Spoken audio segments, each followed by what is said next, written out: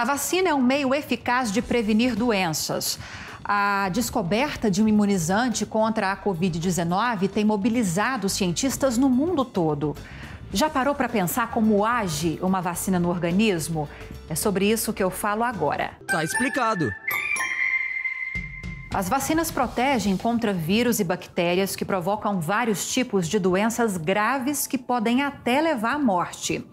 Hoje no Brasil, 18 tipos de vacinas são distribuídos gratuitamente pelo SUS.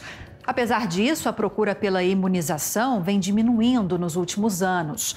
As principais explicações para essa baixa procura, segundo o Ministério da Saúde, são a falsa sensação de segurança diante da diminuição das doenças, as fake news e o próprio desconhecimento quanto à importância da vacinação. Mas como será que as vacinas agem dentro do organismo de forma a permitir a proteção contra doenças?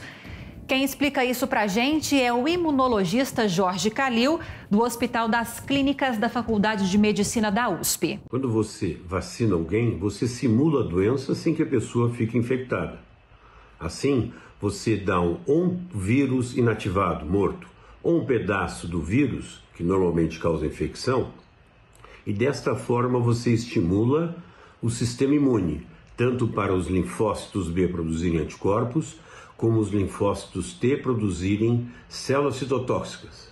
Desta forma, você já tem a defesa armada e quando o vírus entrar em contato com você, você o elimina rapidamente sem ter nenhum tipo de problema ou doença. Atualmente, um dos maiores desafios de cientistas do mundo todo é encontrar uma vacina capaz de imunizar o ser humano contra a Covid-19. Dos mais de 200 imunizantes em desenvolvimento no mundo, quatro foram autorizados pela Anvisa para serem testados no Brasil. São eles: a chinesa Coronavac, a de Oxford, do Reino Unido, a Pfizer dos Estados Unidos e a BioNTech da Alemanha e a belga Janssen Silag. Além destas, outras estão em desenvolvimento no país.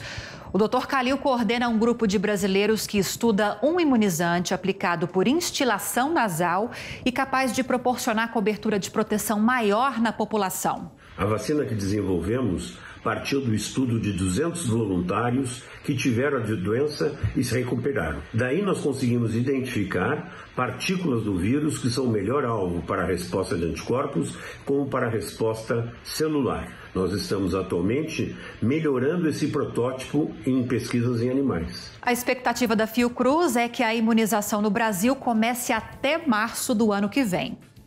Tá explicado? Até a próxima.